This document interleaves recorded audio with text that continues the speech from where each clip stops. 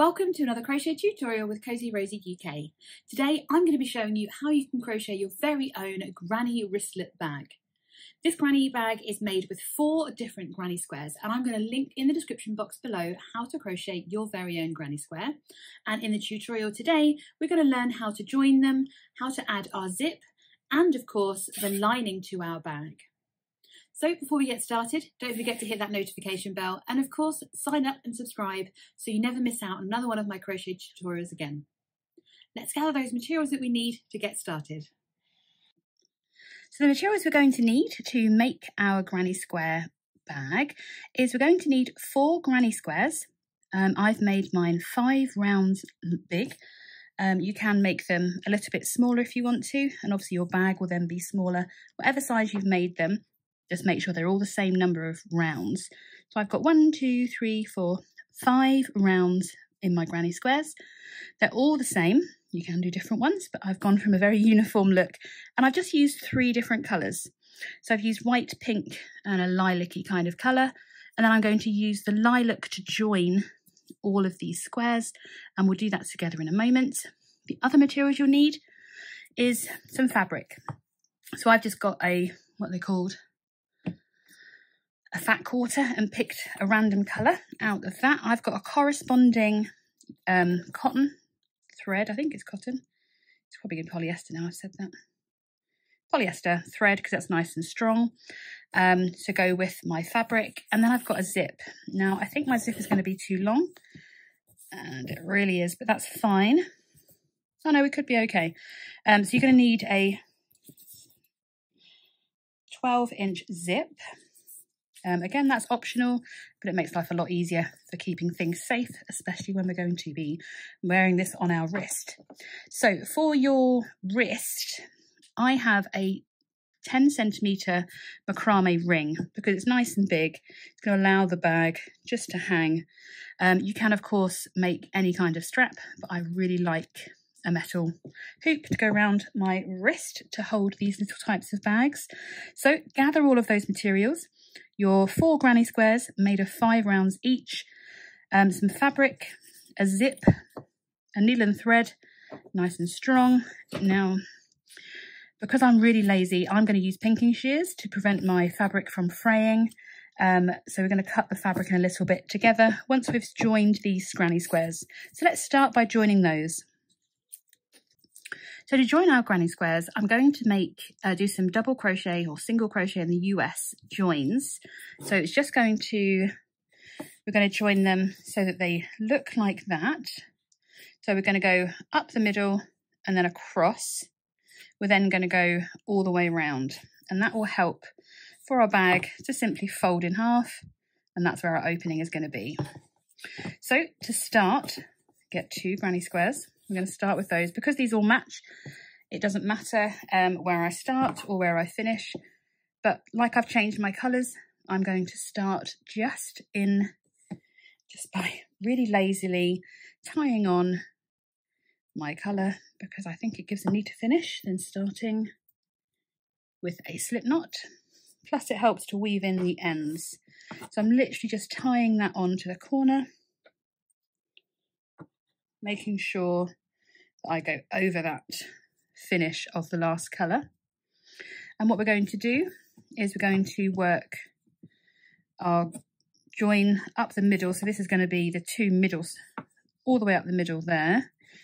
Um, and then we're going to join the other end of the bag by working these two together all the way up. So once your yarn is attached to your first granny square, grab my working yarn, get my other granny square. I am going to go for the same corner with an end.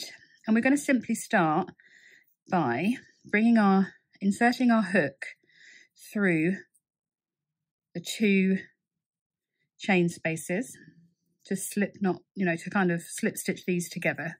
So I'm going to put my hook through the first one, just making those ends out of the way, and then find a corresponding corner and just literally yarning over and bringing my hook through and then I'm going to chain one which is the start of our turning chain. So with joining these granny squares, tuck those ends out of the way, we're going to only work through one loop of our stitch. So we're going to work through the back loop of the granny square that's facing us. And then on this side, move that tail end out of the way, we're going to find the corresponding stitch because we're working this way along. We're going to find the corresponding stitch on the other square. So we've come from the corner, we're going to work into that stitch there. I'm just going to go through on the corresponding stitch into the front loop of this stitch. So there's the stitch, there's the top. So just going to slip that through there. Obviously want to keep our working yarn out of the way. Try that again. There we go. So we'll end up with two loops of our granny square. And we've got our chain one there. So we're just going to yarn over, bring a loop up as you would for a normal double crochet, and yarn over and pull through both loops. And what this will do is on each square it will leave one loop of the stitch unworked and one worked, joining them together, and it gives a really good contrasting seam. So we've worked this stitch here, you can see that's the back loop. We're going to insert our hook through the back loop of the next stitch, and then through the back loop of the corresponding stitch. So if you're unsure, have a look at the top, or you can count along your stitches because we're working in the middle stitch now, which is this one here. I'm just going to go through that loop that's closest to us, making sure we catch all the strands. So we've got both loops on our hook, going to yarn over, pull through, yarn over and pull through both. I'm just going to repeat that the whole way along. So into our third stitch of this cluster, in through the back loop, and then in through, so this is one that we've slip stitched across. So we just need to make sure that we leave a front loop unworked. This is When your nails come in useful. There we go. Separate that stitch a bit and then we can yarn over and do our double crochet or our single crochet in US terms. And then we've reached our chain space. You can work through just one loop of your chain space to keep the pattern going, which is what I'd recommend. Or if you really want to, you can just go through the chain space. So just insert your hook through that back loop of your first chain, find your chain space, and insert your hook through the front loop of the chain on this one.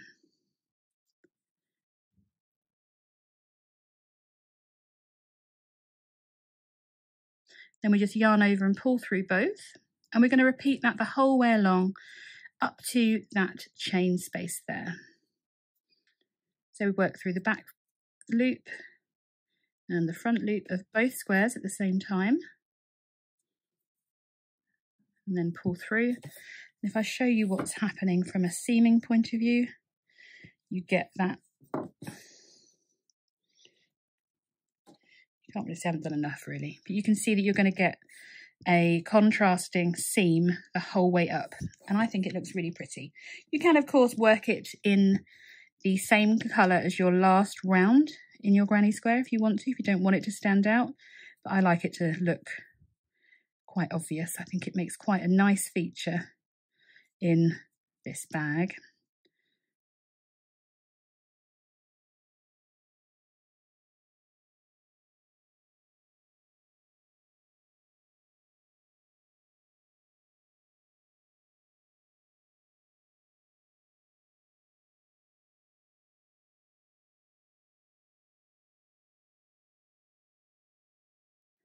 So once you've reached your chain space, we're going to either work directly through the chain space, so you can go through both the chain spaces to make it quicker, or you can keep the same pattern and just work through that back loop of your chain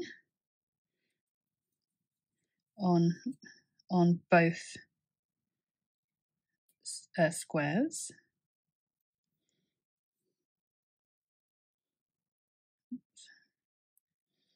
Okay.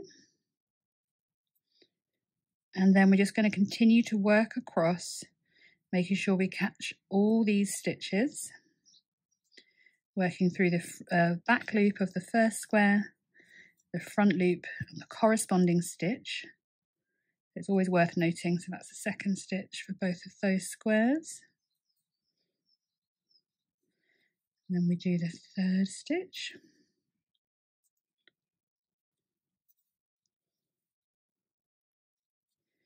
And then we're back to the chain space again. We're going to repeat this the whole way along um, our granny square until we get to the corner. So keep working across, working through each chain space, making sure that you're matching up your stitches, working through the back loop or the front loop only in each square and I'll meet you in this first in that next corner. So I've reached my first corner. I've worked in the last stitch there. And what we're going to do in this corner here is we're just going to go straight through the chain space. We're not going to work through those chains there. We're going to um, work our single crochet or our double crochet if you're UK or US. And then you're going to grab your next two granny squares, bringing them together so that the right sides are facing out. And we're just going to pop our hook through the next two squares. Move them back out of the way. Find our working yarn, wherever that may have gone. There we go. We're not going to chain, not going to do anything like that. We're simply just going to bring that loop through those corners and straight through to slip stitch those together. And then we're going to chain one and now they're kind of joined. What we're going to do is without twisting them, without moving them too much, we're going to do exactly the same all the way up to this corner. So we're going to work back through that first corner, yarn over and complete our single crochet or our double crochet, depending if you're UK or US.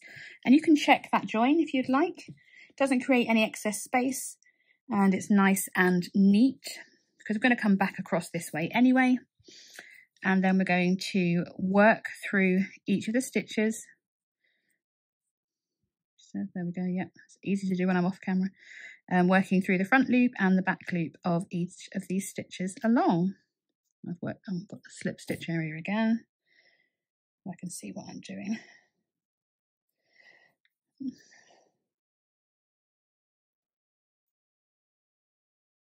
Goodness me. So when you're working through your slip stitches, it's worth noting it's counting across, making sure you've got enough. And I'm just going to use my nail, and I'm sure that's not the right thing to do. But at this point, we just need it to go onto our hook. There we go. And then we can complete that single crochet there. And continue working through the front loop and the back loop for each stitch. She says. Let's go off camera again. Sorry. There we are. That's number two. And then number three. That one. Sorry, I'm doing this all off camera because it's so tight. There we go. Once again, we've reached that chain space. So it's just going through the chain spaces or working through the front loop, back loop of your chain and continuing all the way up. And when you reach your final corner, work one um, single crochet into the corner space and then you can cut that yarn and we're going to work up across the other sides to join them the other way. So I will meet you in that corner. So I'm just working my last single crochet into that corner, little chain one to create a knot. And then I'm just going to snip that, leaving a long-ish tail to weave in.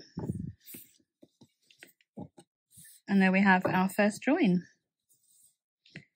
If it looks like it's leaning to one side, don't worry, you can manipulate those stitches so they are how you want them to be lying. There we go, much better.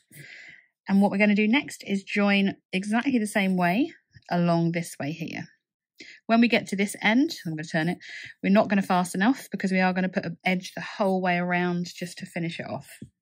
So in exactly the same way, we're just going to fold it so that our seam is coming down. You can see how it's going to look when it's finished and it's so cute. And we are going to start in this corner here. So exactly as we did before, move that tail out of the way. We are simply going to tie on our yarn into this corner. Same colour so that our edging all matches.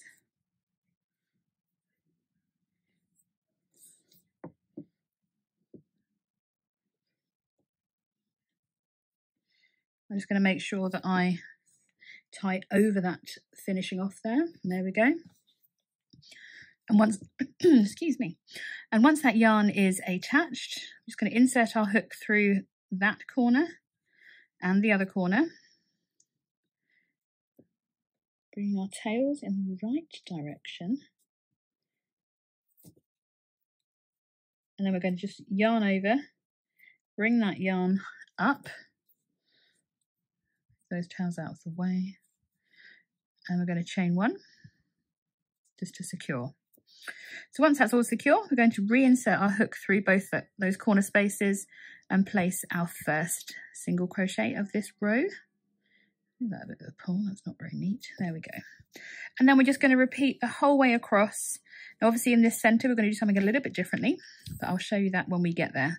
So work all the way across, working into both the front loop of, sorry, the back loop and the front loop tuck those out of the way. We'll deal with those in a bit. And then, of course, the back loop of the corresponding hit, hit stitch. There we go.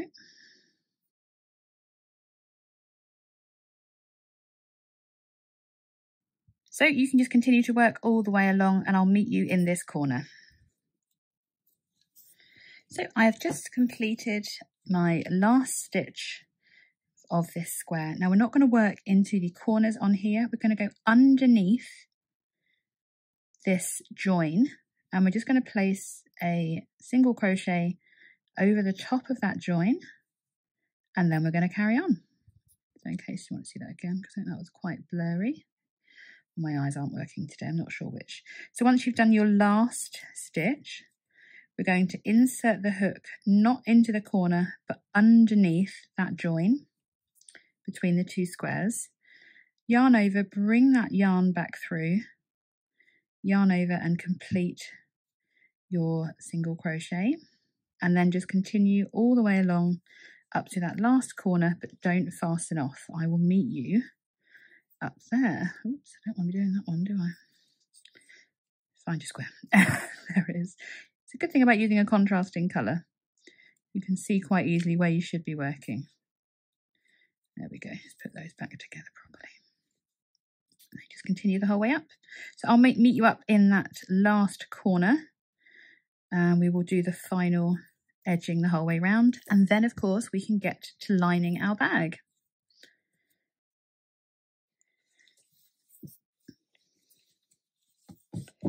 So I've finished my last stitch and I've just reached my corners. So obviously what we'd like to do is now to edge all of this. But before we do that, we need to get our fabric cut to size so that we can fit a zip. And then we're going to sew the fabric on. We're going to close, the zip will be attached, and then we will just do one final along the edge to join these sides. So bring a loop up wherever you finished and safely tuck that to one side or pop a stitch marker in if you have one to hand. Amazingly, I don't. I'm just going to pull a load of yarn out. There we are. And grab your fat quarter or whatever fabric you're using. So it's up to you how thick you make your lining. I literally have just one massive part of the now, as I said, I'm being lazy. I'm using a using my pinking shears because I hate sewing. I am no way a seamstress and I would never claim to be. So I'm placing it quite close to the edge. Just going to turn this. Oh, I hate fabric. Okay. And I'm going to grab my pinking shears because I am very simply making sure I don't catch any of my ends. And make sure my fabric is nice and flat. And I am simply going to cut up alongside, no I'm left-handed with my cutting, sorry. Um, just going to cut all the way up. It's ever so slightly larger, just going to move that out of the way. I'm going to turn.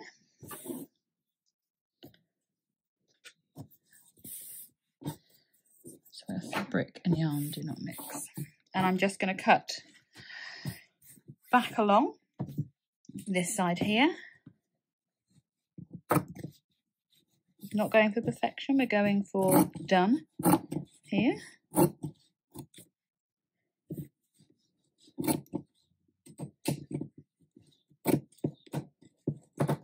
Goodness me.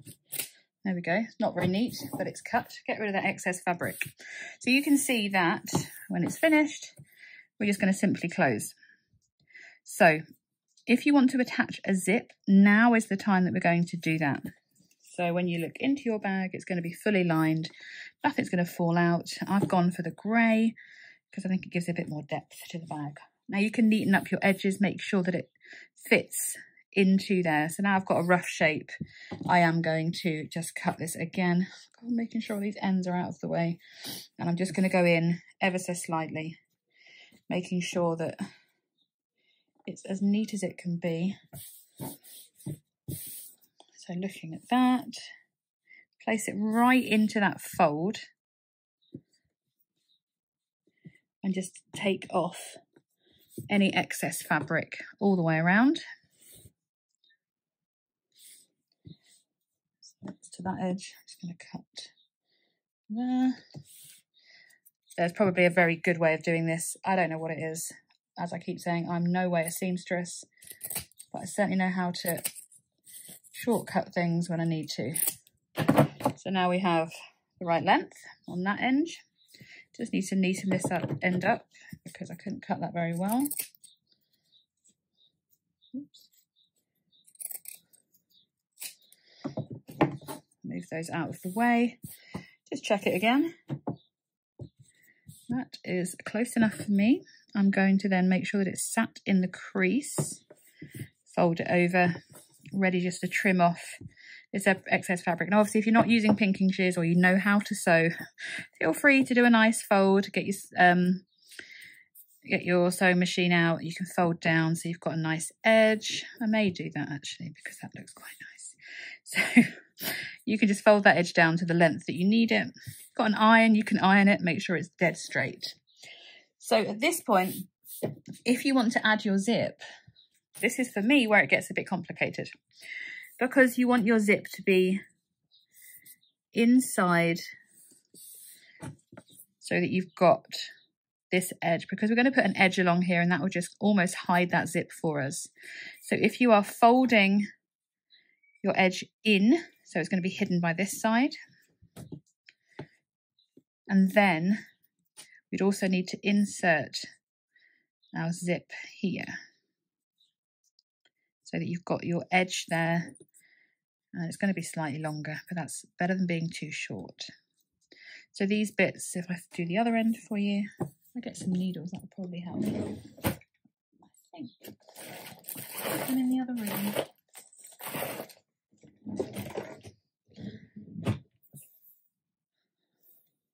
anything in here that will work. Oh yes, here we go.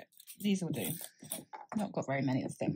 So if you want to do it properly, you can get lots of lovely tools to do that with. I am not one for doing things properly. We just need to make sure that this edge is straight and that's going up against the back of your bag. And then we're going to pin the zip along the top like that. But we don't want to sew because we still need to work through this top edge when we join. So we're going to fiddle around with this for a while and pin all this in. Have a play, have a pin. These are my favourite pins. I'm going to go that way. I'm not using a sewing machine. I am going to hand sew this. So once you've got everything pinned into place, the first side will look a little bit like that. Just get your needle and thread and work in and out, making sure that you don't, there's actually a line. You, should, you can see there's a line where you can work on your zip. So this bit here you should sew through and this bit right next to the zip. In between here and here, you should avoid sewing through. So ideally, when you're pinning your zip in, you're going to be sewing along that line through the stitches so that your row of the top of your row here is going to be unsewn through. So you're going to be pushing through. Can't even find a needle. I've put that somewhere safe as well. So when you come through, you're going to come through underneath. You can't barely see that, but through, not through the stitch here, not through your top loops of your V, and then back through down and avoiding working that little section of your zip. I'm going to make mine sit there and work the whole way along. If you want to, you can sew your zip on and leave it unlined, or you can sew your zip on, then sew your lining on. But I'm going to try and pin all of mine together, and I will catch up with you once all of that is sewn up, ready to finish our bag. So after a bit of a fiddle, I did manage to get it done, and I wanted to show you just how I did it. Um, so literally, I've got my zip, my lining, which I folded over, and then I've got that top row that's not going to be sewn through. So this is just the first side. I'm just going to start with that. And then once it's done, I'm going to undo my zip to make my life a little bit easier and repeat the whole process on the other side so that I can match up the lining and it's going to be nice and neat. So I'm going to grab my needle and my thread, just sew along here neatly to join those and then I'll meet you back once we have got that sewn. So once you've sewn on your zip, I can't deny mine is not perfect, uh, we are going to do a final round which will take us to join these edges. We're going to tuck all of these bits in, which is why we've left these stitches unworked. So we're going to join them and then we're going to work along the edge go back down the side and then finally do the final edge. So if you're like me, you've still left your yarn attached, just grab your hook and pop your yarn back onto that. Oh, where's it gone? There we are. So we're going to start by working through the corners. I'm just going to tuck those in. You can sew that edge up if you want to, but your join on your bag will prevent everything falling through. I'm just going to carry on do um, two single crochets into that corner space and then joining these squares in the same way we did when we joined the other pairs. Just working to that front loop back loop. Working a single crochet into each of those. It's so hard to do it through the camera Oops.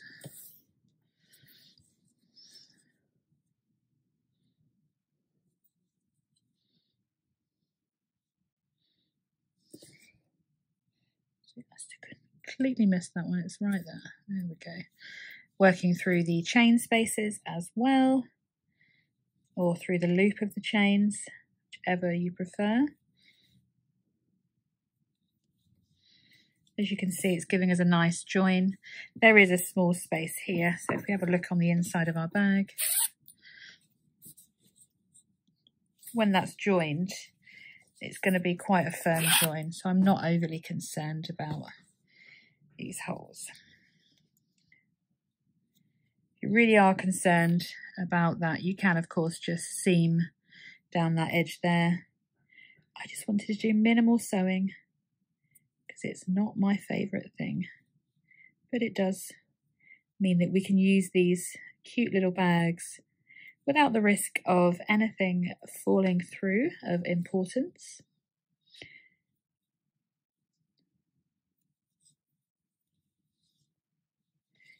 Just going to continue to work all the way up so we can then work along the edge.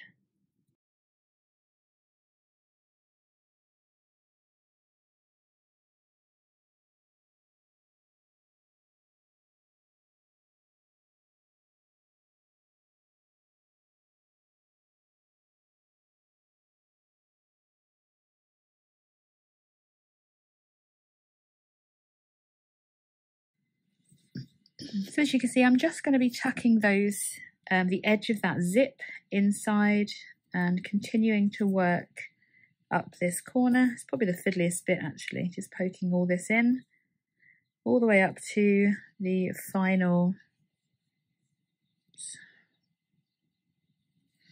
join. And it will just bring and hide all of that stuff at the same time.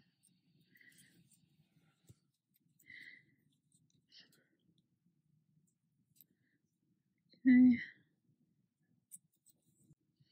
So into the corner spaces, because obviously we've not sewn through those, although I have, we're just going to do two single crochets.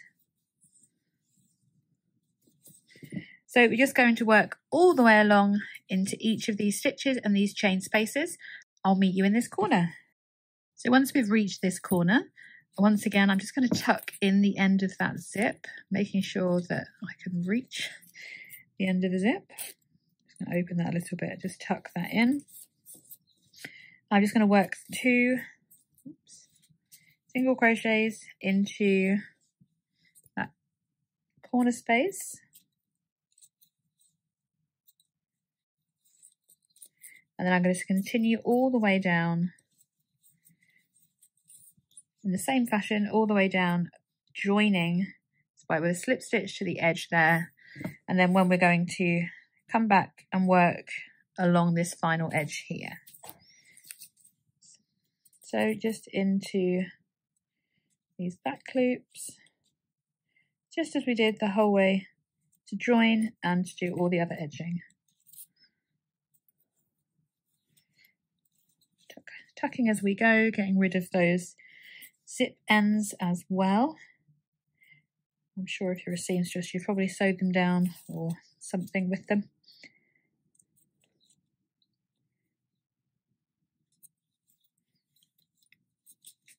Again, as with the other end, if you wanted to, you can sew the edge of the lining.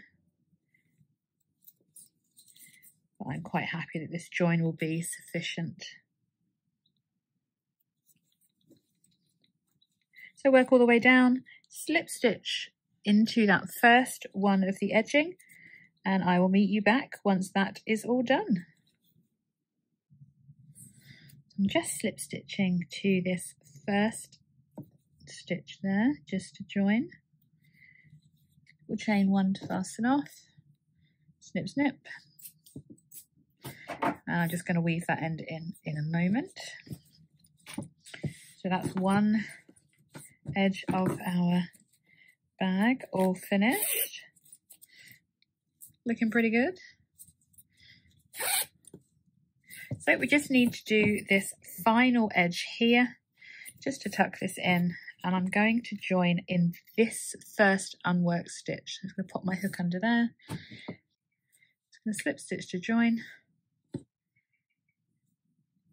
Yarn over with the working yarn, chain one going to work straight back into that same stitch, making sure I've caught the tail yarn underneath. Bring a loop through and work that first single crochet. That's a bit neater. There we go. And I'm going to, this from here on in, I'm going to work through that back loop only to leave that front loop unworked. And I'm just going to work a single crochet into each stitch across, including the chain spaces, ideally through that back loop to give us the nice edging.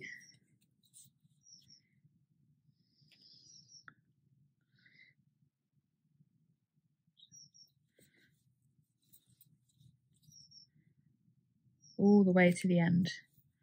And we're simply going to fasten off And then we need to attach our hoop. So work all the way along, slip stitch into the last stitch there, and I will join you to add on our wrist hoop. So I have woven in the last remaining ends on this edging and I am incredibly pleased with how cute this bag is looking. So the final thing, I've already got it around my wrist to do is to attach our ring. Now of course you can simply attach it with a loop through your zip, but I'm going to attach mine to my bag because I want to be able to have it on my wrist, for instance, and open the bag and it not all tip out. Might just be me, but there we go. So the easiest way to do this, I'm going to simply open the zip, pop that there, grab my yarn, and making sure that I'm working on the end where the zip is not there. I'm going back through this corner space. Now I know that I didn't sew through this, but whether or not I can get my hook back through it, oh, I can. So you should still be able, if you haven't sewn through this part, is get your hook under your, and through your corner. Told you I wasn't a seamstress, look at that. But anyway, and as always, I need this to be super secure. So I am just simply going to pull through making sure I don't catch any other threads. And I'm first and foremost, I am going to tie this on so that it is super, super sec secure. Two or three knots is always my preferred number, going different ways, but we can't do that right now. So we will weave that in securely at the end. So once I've tied on, so many strands here, sorry. Once I've tied on my yarn, I'm just going to insert my hook and bring that yarn back through and I'm going to chain four. And that's actually pretty much all we need because I'm going to then put the yarn, bring my, somehow do that, that's it, so that the, oh, bring some yarn through. Let me just cut this yarn because we don't need very much of it going to make sure that the hoop is going to put the hoop in position effectively because I'm going to bring this chain. So I've brought everything through. The hook is through, the yarn is through, and I'm simply going to come back through this corner, yarn over, and slip stitch that tightly through. Oops. I'll tell you when I come through. I did cut that, yeah, there we go. And bring that all the way through. I did cut off way too much there. And that is simply how it attaches. So I've got my other end here. So of course, you know me, I like a knot. Just going to securely knot that through. Get rid of some of this excess here. And make a couple of knots. You can, of course, weave those ends in but that is about as secure as you're going to get it. You can even, if you want to, bring one end back through your corner.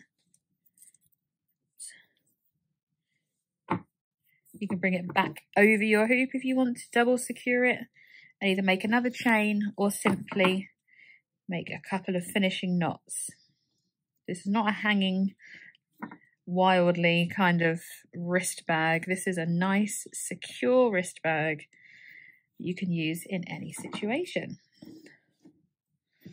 So let's weave these final two ends in and then we can admire our bags.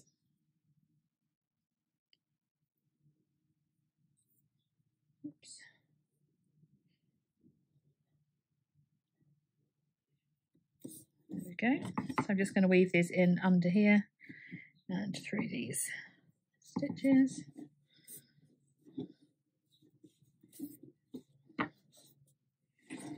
Back up the other way so they are nice and securely tucked in. Too securely. One last for good measure. And then we can snip those off.